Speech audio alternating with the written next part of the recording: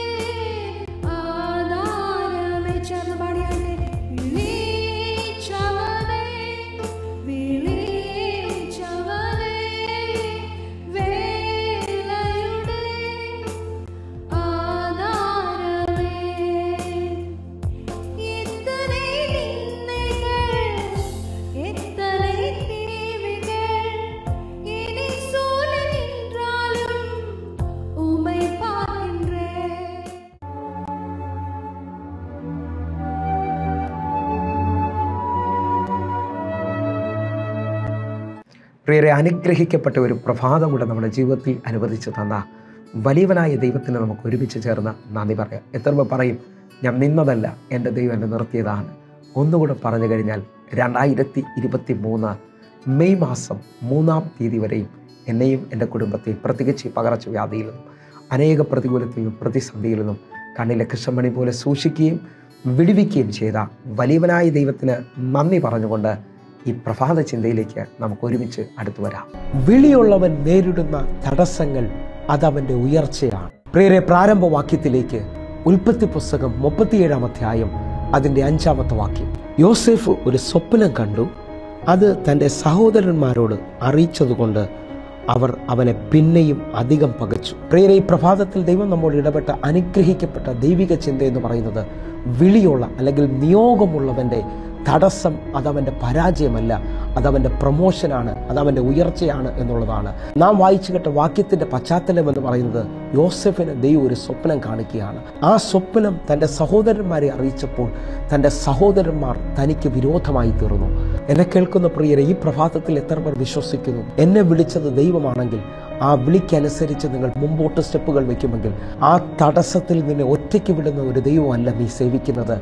ആ തടസ്സങ്ങളെ മുഴുവൻ നിനക്ക് അനുഗ്രഹമാക്കി. എന്നെ കേൾക്കുന്നവരെ യോസഫിന്റെ വിളിയാണ് അല്ലെങ്കിൽ യോസഫിന്റെ വെളിയിൽ ദൈവം വെച്ചിരിക്കുന്ന നിയോഗമാണ് താൻ കണ്ട സ്വപ്നമെന്ന് പറയുന്നത് ആ സ്വപ്നത്തെ തന്റെ സഹോദരന്മാർക്ക് തടയാൻ കഴിഞ്ഞില്ല. തന്നെ പൊട്ടക്കിണറ്റിലേക്ക് തള്ളുകയും അവിടെ നിന്ന് താൻ പൊത്തീഫറിന്റെ വീട്ടിലെത്തിയെങ്കിലും ഇവർക്കാർക്കും തന്റെ സ്വപ്നത്തെ തടയുവാൻ കഴിഞ്ഞില്ല. ഒന്നുകൂടെ പറഞ്ഞാൽ പൊത്തീഫറിനോ പൊത്തീഫറിന്റെ ഭാര്യയ്ക്കോ യോസഫ് കണ്ട ദൈവിക നിയോഗത്തെ തടയാൻ കഴിഞ്ഞിട്ടില്ല. എന്നെ കേൾക്കുന്നവരെ നിങ്ങളെ വിളിച്ച വിളിക്കൊത്തവണ്ണം നിങ്ങൾ സ്റ്റെപ്പ് വയ്ക്കുന്നുണ്ടെങ്കിൽ ആ വിളി നിങ്ങളെ എത്തിക്കേണ്ടിടത്ത് എത്തിക്കും. ആർക്കും ദൈവിക വിളിക്കകത്തു നിന്ന് അല്ലെങ്കിൽ ദൈവിക നിയോഗത്തിനകത്തു നിന്ന് നിങ്ങളെ തെള്ളിക്കളയാൻ കഴിയത്തില്ല. കാരണം നിങ്ങളെ വിളിച്ചവന്റെ വലിപ്പം ആ പ്രതികൂലത്തിന്റെ മധ്യത്തിൽ വെളിപ്പെടും. ഹലരുയ യോസഫിനെ പൊത്തിഫറിനോ പൊത്തിഫറിന്റെ ഭാര്യയ്ക്കോ ജയിലിറക്കിയോ ഒതുക്കുവാൻ കഴിഞ്ഞില്ല. എങ്കിൽ ഈ പ്രഭാതത്തിൽ വിശ്വസിക്കുക നിങ്ങളും ഞാനും ഇന്ന് നേരിടുന്ന പ്രതിസന്ധികൾ അത് നമ്മുടെ പരാജയത്തിനല്ല അത് നമ്മുടെ പ്രൊമോഷന് വേണ്ടിയാണ് അത് നമ്മുടെ ചവിട്ടുപടിയായി തീരാൻ പോവുകയാണ്. നിങ്ങൾ ശ്രദ്ധിച്ചു നോക്കിയേ ദാവീദിനെ തന്റെ സഹോദരന്മാരും തന്റെ അപ്പനും വല്ലാതെ ഒറ്റപ്പെടുത്തിയിട്ടുണ്ട് വല്ലാതെ തെള്ളിക്കളഞ്ഞിട്ടുണ്ട്. എന്നാൽ തന്നെ വിളിച്ച ദൈവം തന്റെ വിളിക്കനുസരിച്ച്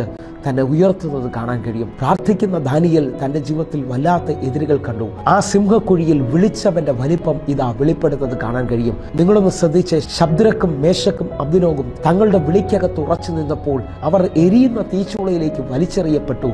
എന്നാൽ അവരുടെ മേളിൽ കിടക്കുന്ന ദൈവിക നിയോഗം ആ തീച്ചൂളയിൽ നിന്ന് അവരെ ഉയർത്തുന്നത് കാണാൻ കഴിയും. എങ്കിൽ ഈ പ്രഭാതത്തിൽ എത്ര പേർ വിശ്വസിക്കുന്നു. നിങ്ങളുടെ മേളിലുള്ള ദൈവിക വിളി ദൈവിക നിയോഗം നിങ്ങളുടെ തടസ്സങ്ങളിൽ നിങ്ങളെ തളർത്തുകയല്ല നിങ്ങളെ അവസാനിപ്പിക്കാൻ പോവുകയല്ല ദൈവത്തിന്റെ നിയോഗം നിങ്ങളുടെ ജീവിതത്തിനകത്ത് എഴുന്നേറ്റ് വരാൻ പോവുകയാണ് സ്വപ്നക്കാരനെന്ന് പറഞ്ഞുകൊണ്ട് യോസഫിനെ കളിയാക്കിയെങ്കിലും താൻ കണ്ട സ്വപ്നം ഇതാ തന്നെ ആ രാജ്യത്തിലെ രണ്ടാം പദവിയിലേക്ക് കൊണ്ടുവരികയാണ്. പ്രിയരെ ഈ പ്രഭാതത്തിൽ നിങ്ങൾ ദൈവവിളി കേട്ടിട്ടിറങ്ങിയവരാണോ?